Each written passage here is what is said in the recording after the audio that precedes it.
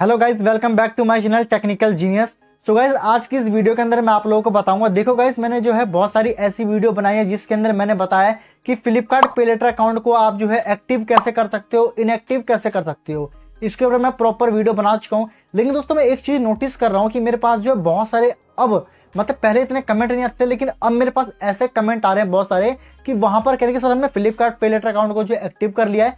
लेकिन उससे क्या है कि हमारा सिविल जो है पूरा डाउन हो चुका है। ठीक है? आपके मन में डाउट है कि अगर आपने फ्लिपकार्ट पे लेटर अकाउंट को आपने एक्टिव किया है तो आपका सिविल जो है डाउन हो चुका है, ठीक है?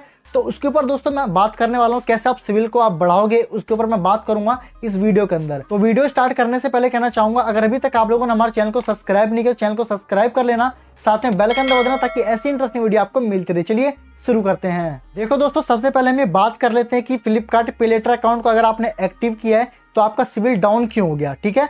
सबसे पहले हम इसके ऊपर बात करेंगे, फिर इस सिविल को कैसे इंक्रीज करेंगे, उसके ऊपर तब हम बात करते हैं, ठीक है? तो दोस्तों, देखो, मैं आपको एक एग्ज़ाम्पल दे रहा हूँ कि दोस्तों, अगर मान लो कि अगर आप किसी भी बैंक से अगर आप लोन लेते हो, कोई भी बैंक अगर आपको लोन देता है, आपके जैसे कि मान लो एप्लीकेशन पे शो हो गया कि आपको लोन ये बैंक दे रही है, कोई भी अगर आप लोन लेते हो सिविल वहाँ पे डाउन होता है, क्योंकि आपने लोन लिया भाई, वहाँ से आपने इंक्वायरी की है, उससे सिविल जो डाउन होता है। लेकिन दोस्तों फ्लिपकार्ट पेलेटर क्या है? ये भी एक लोन की तरह हुआ कि अगर आप फ्लिपकार्ट पेलेटर को अगर आप यूज़ कर रहे हो ना तो आप उसका पैसा यूज़ कर रहे हो। अपना पैसा भी आप यूज़ नहीं कर रहे हो।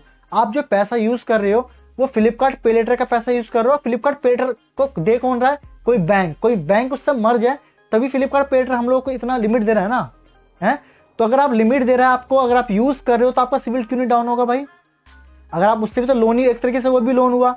अगर आप लोन ले रहे हो तो आपका सिविल क्यों नहीं होगा डाउन फ्लिपकार्ट पे लेटर ले लिया आपने, आप उसको यूज़ करो, कोई दिक्कत नहीं है। अगर आपको यूज़ करना तो यूज़ करो, सही से आप उसको पेमेंट दो। अगर आप सही से पेमेंट दोगे तो आपका सिविल दोबारा बन जाएगा। वही सिविल जो अगर आप लोगे तो सिविल आपका अच्छा बन जाता है। अगर मान लो लोन लिया प्रॉपर उसको पे कर रहे हो ना तो वो जो आपका सिविल था, उस सिविल से भी ज़्यादा अच्छा सिविल बन जाता है।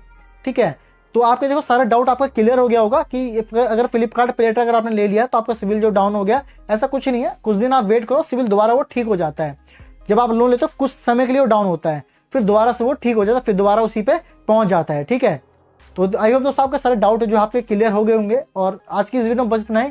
यही इन्फॉर्मेशन मुझे आप लोगों को देना था, क्योंकि आप लोगों का बहुत सारा कमेंट मेरे पास आ रहा था कि सर ने प्लेटर एक्टिव जब से किया, हमारा सिविल डाउन हो गया तो इसीलिए मैं ये वीडियो बना के मैंने आप लोगों को बता दिया, ठीक है? तो दोस्तों मिलते हैं नेक्स्ट वीडियो में नए कंटेंट के साथ।